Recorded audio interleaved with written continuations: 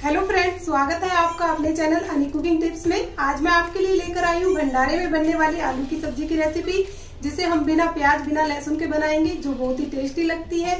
और साथ ही बताऊँगी वो सीक्रेट टिप्स जिससे हमारी सब्ज़ी बनेगी और भी लाजवाब। तो हम रेसिपी बनाना स्टार्ट करते हैं। भंडारे वाली आलू की सब्ज़ी बनाने के लिए यहाँ मैंने लिए हैं चार आलू। आलू को मैंने पहले से ही उबाल कर छील लिया है। अब आलू को हम मैश करेंगे। आलू को हम किसी पटैटो मैशर से या हाथ से भी मैश कर सकते हैं। आलू को हमें मोटे मोटे ही रखना है, ज़्यादा पतला हमें नहीं करना है आलू को। आलू को हमने मैश कर लिया है। यहाँ लिए है मैंने दो टमाटर। तो मैं बताऊँगी अब आपको वो सीक्रेट टिप्स जिससे हमारी सब्ज़ी बनेगी दो गुना टेस्टी टमाटर को हम अक्सर ऐसे ही ग्राइंड करके डाल देते हैं, लेकिन हमें टमाटर को ऐसे नहीं डालना है। तो टमाटर को हम बॉईल करेंगे। तो पहले हम टमाटर पे ऐसे थोड़ा सा कट लगाएँगे। जिससे टमाटर आसानी से छिल जाएँगे। टमाटर को हम सबसे पहले बॉईल करेंगे। पाँच मिनट के लिए हमने हाई फ्लेम पर टमाटर को पकाना है। टमाटर को हम कवर करके रख देते हैं। पाँच ही मिनट में हमारे टमाटर बॉईल हो जाएँगे। टमाटर को हमने बॉईल कर लिया है। पाँच मिनट में ही टमाटर बॉईल हो गए हैं। अब इसे हम ठंडा कर कर छील लेंगे। अगर आप मेरी इस रेसिपी से सब्ज़ी बनाएँगे तो हमारी सब्ज़ी एकदम हलवाई स्टाइल बनेगी।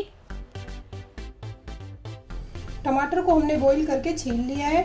चाहे तो हम टमाटर को बिना बॉईल किए ग्राइंड करके भी डाल सकते हैं, लेकिन इससे सब्ज़ी का टेस्ट आएगा दो गुना ज़्यादा।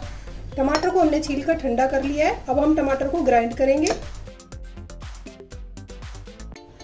तो फ्रेंड्स आप सभी से रिक्वेस्ट है, अगर आपने चैनल को सब्सक्राइब नहीं किया है तो प्लीज़ चैनल को सब्सक्राइब करें वीडियो को लाइक करें और ज़्यादा से ज़्यादा शेयर करें। टमाटर को हमने ग्राइंड कर लिया है। अब हम एक कढ़ाई में तेल गरम करेंगे।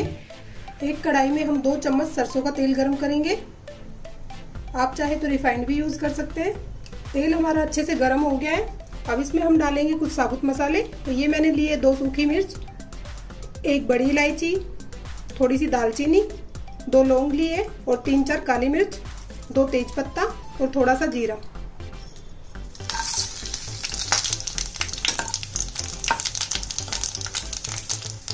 इसमें हम डालेंगे दो चुटकी हींग।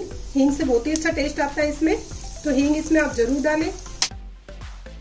अब इसमें हमने जो टमाटर का पेस्ट तैयार किया था, वो डालेंगे। यकीन मानिए फ्रेंड्स, अगर आप इस रेसिपी से सब्ज़ी बनाएँगे तो आप हर बार इसी तरह से बनाएँगे। अब इसमें हम डालेंगे थोड़ी सी मेथी। इसमें हम डालेंगे आधा चम्मच अदरक, इसे मैंने ग्रेट कर लिया है। दो तीन हरी मिर्च डालेंगे, इसे हमने लंबाई में कट कर लिया है।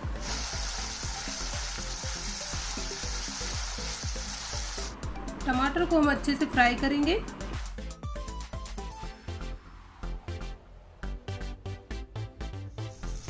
टमाटर के पेस्ट को हमने दो मिनट तक फ्राई कर लिया है।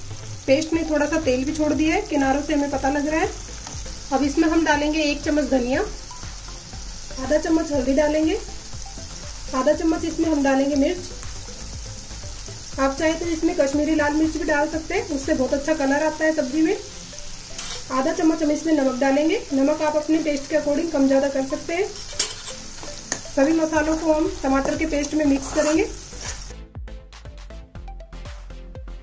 दो मिनट के लिए हमने मसालों को अच्छे से भून लिया है। मसाले हमारे अच्छे से भून गए हैं। अब इसमें हम डालेंगे आलू।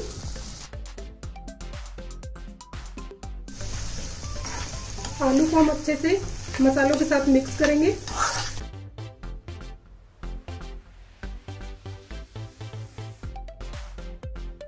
अब इसमें हम पानी ऐड करेंगे।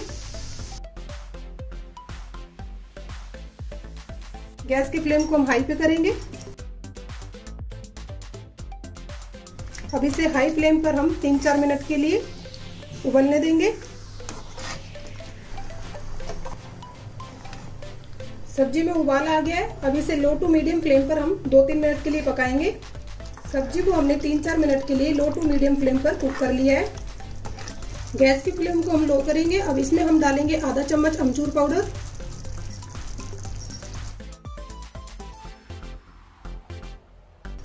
इसे हम इसमें अच्छे से मिक्स करेंगे।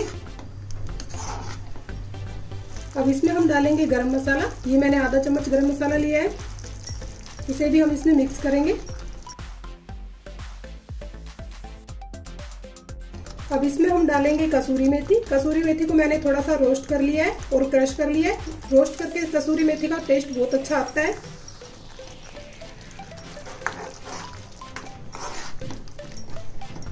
गैस की फ्लेम को हम ऑफ़ करेंगे। सब्ज़ी बनकर तैयार है, अब इसमें हम धनिया डालेंगे।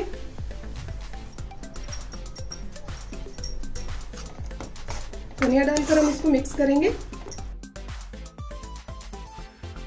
ये देखिए, हमारी गर्मा गर्म भंडारे वाली आलू की सब्ज़ी बनकर तैयार है। अब इसे हम सर्व करेंगे।